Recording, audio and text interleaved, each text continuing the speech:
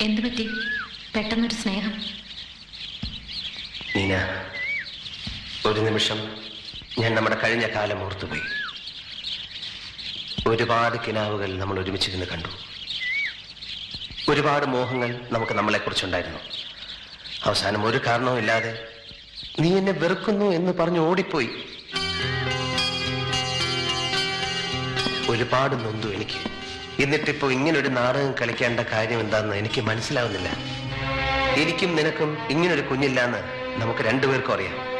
എന്നിട്ടും എനിക്ക് ഈ കുഞ്ഞിനോട് എന്തോ സ്നേഹം തോന്നുന്നു.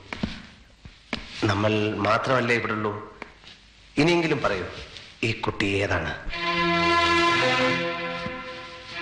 ഒന്നും തെളിയിക്കാൻ വേണ്ടിയല്ല. നിന്നെയും കുഞ്ഞിനെ പുറത്താക്കാനും വേണ്ടിയല്ല.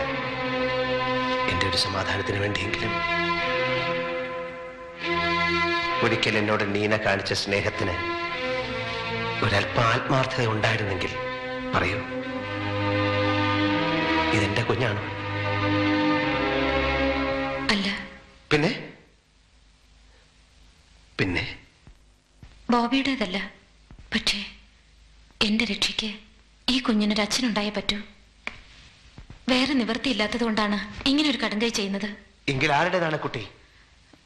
അത് ഞാൻ പറയില്ല. പ്ലീസ് ഞാൻ പറയില്ല. പ്ലീസ് പറയില്ല. നീ പറയണ്ടടി.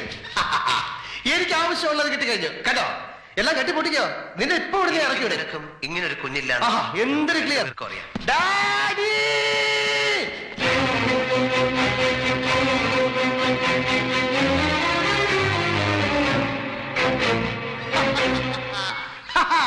അയ്യരെ ജേ എല്ലാരും വാ.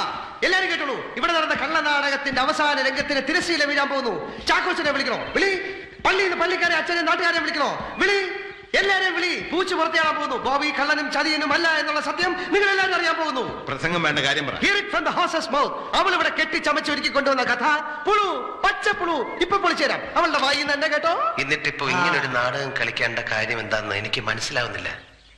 എനിക്കും നിനക്കും ഇങ്ങനൊരു കുഞ്ഞില്ലാന്ന് നമുക്ക് രണ്ടുപേർക്കും ഇവിടെ കൊണ്ടുവന്ന കൊച്ച് എന്റെ കൊച്ചല്ല എന്ന് ഇവളുടെ വാ കൊണ്ട് പറയുന്നത് ഏതാനും നിമിഷങ്ങൾക്കാണ് നിങ്ങൾക്ക് ഇതിൽ നിന്ന് കേൾക്കാം. അത് കഴിഞ്ഞിട്ട് അത് ആരുടെ കൊച്ചാണെന്ന് ഞാൻ ഇവളെ കൊണ്ട് പറയിക്കാം. വിളി പോലീസിനെ വിളി. തള്ള പിള്ള ഒരുമിച്ച് അകത്താക്കണം. അതാ വേണ്ടത്. ശ്രദ്ധിച്ചു കേട്ടോ. കുഞ്ഞിനെ പുറത്താക്കാനും വേണ്ടിയല്ല?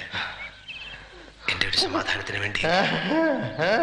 ഒരിക്കൽ എന്നോട് നീന കാണിച്ച സ്നേഹത്തിന് ഒരല്പം ആത്മാർത്ഥത ഉണ്ടായിരുന്നെങ്കിൽ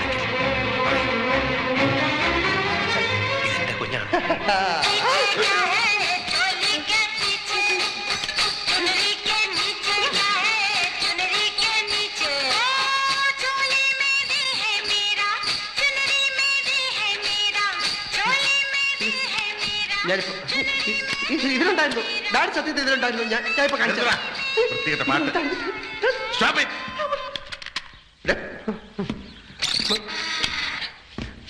ഇതിലുണ്ടായിരുന്നു ഞാൻ കേട്ടതില്ല ഞാൻ ഇപ്പൊ എറിഞ്ഞു പൊട്ടിക്കാൻ